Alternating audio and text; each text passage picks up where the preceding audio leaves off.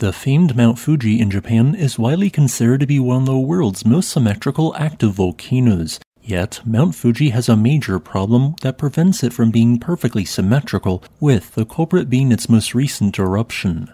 As, between December of 1707 and February of 1808, a series of powerful explosions carved out two gaping craters on its southeast flank, the largest of which measures 1500 meters long, 1000 meters wide, and 125 meters deep.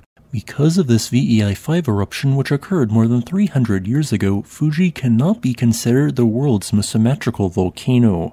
Yet, in Russia, there is a volcano that few know about outside of Russia, a volcano with a near perfect snow covered symmetrical profile. This volcano is known as Klyuchevskoy, with this stratovolcano rising to a truly impressive height of 4,755 meters or 15,600 feet above sea level.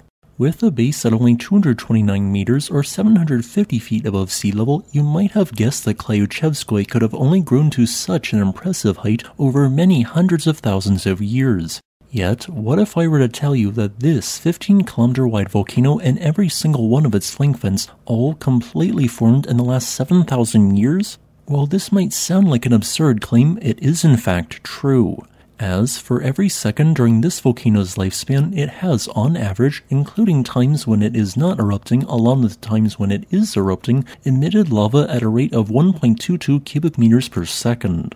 For context, this rate is absurdly high, meaning that Klyuchevskoy during the 7,000 year long period has erupted at a higher rate than the combination of Mount Merapi in Indonesia, Mount Etna in Italy, and Mount Stromboli in Italy. As a result, Klyuchevskoy has been near continuously erupting through its entire lifespan and is even erupting right now, at least as of the writing of this video.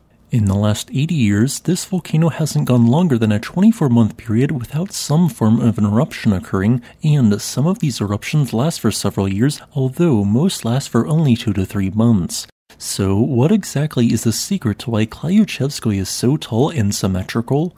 The answer involves three factors. The most important of these factors involves the eruption of basaltic lava and occasional basaltic andesite lava, as both of these lava varieties have a fairly low viscosity.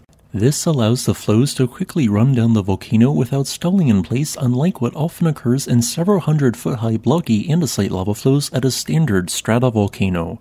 Because of how fluid the lava is, it can quickly divert to areas of lower topography if there is an obstruction of higher elevation on its slope, allowing for molten rock to fill the voids and create a fairly symmetrical volcanic cone. You might ask, but wait, shield volcanoes like Mauna Loa also primarily erupt basalt? So, why is Klyuchevskoy a stratovolcano?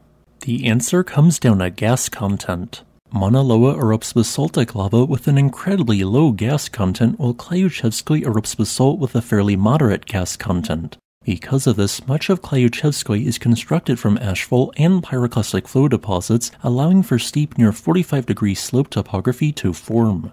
Second, Klyuchevskoy's eruptions are almost always strombolian in nature, involving intermittent ejection of bombs of lava in a several hundred meter radius from a vent, often occurring at its summit alongside lava flows, but sometimes instead occurring at flank cinder cones. Vulcanian eruptions with pyroclastic flows have also occurred, along with subplinian and plinian eruptions, but current records show that these never exceeded a moderate VEI4 rating. This lack of voluminous explosive eruptions has prevented Klyuchevskoy from producing a caldera collapse and partially helped prevent a major flank collapse from occurring. And third, the subduction of the Pacific plate underneath the Okhotsk plate has for 300,000 years kept the specific region of Kamchatka volcanically active, with seven volcanoes forming during this time span, four of which are still active. Among this volcanic cluster, the highest rate of magma intruding into the crust simply goes underneath the Klyuchevskoy volcano. Interestingly, Klyuchevskoy has produced dozens of cinder cones during its 7,000 year lifespan, but all of these have seemingly occurred in a 120 degree arc ranging from southeast to north northeast. One of these cinder cones in 1938 produced a lava flow from a vent 21 kilometers northeast of Klyuchevskoy's summit, sending a lava flow to within 6 kilometers of the town of Klyuchi. In all likelihood, Klyuchevskoy will continue to erupt at a high rate in the next few decades, continuing to grow in height, with its latest eruption having begun in June of 2023 and with more than 60 distinct eruptions occurring in the last century. Thanks for watching. If you would like to request a specific topic, please leave a comment below. Additionally, I would like to thank this channel's patrons on Patreon and channel members on YouTube.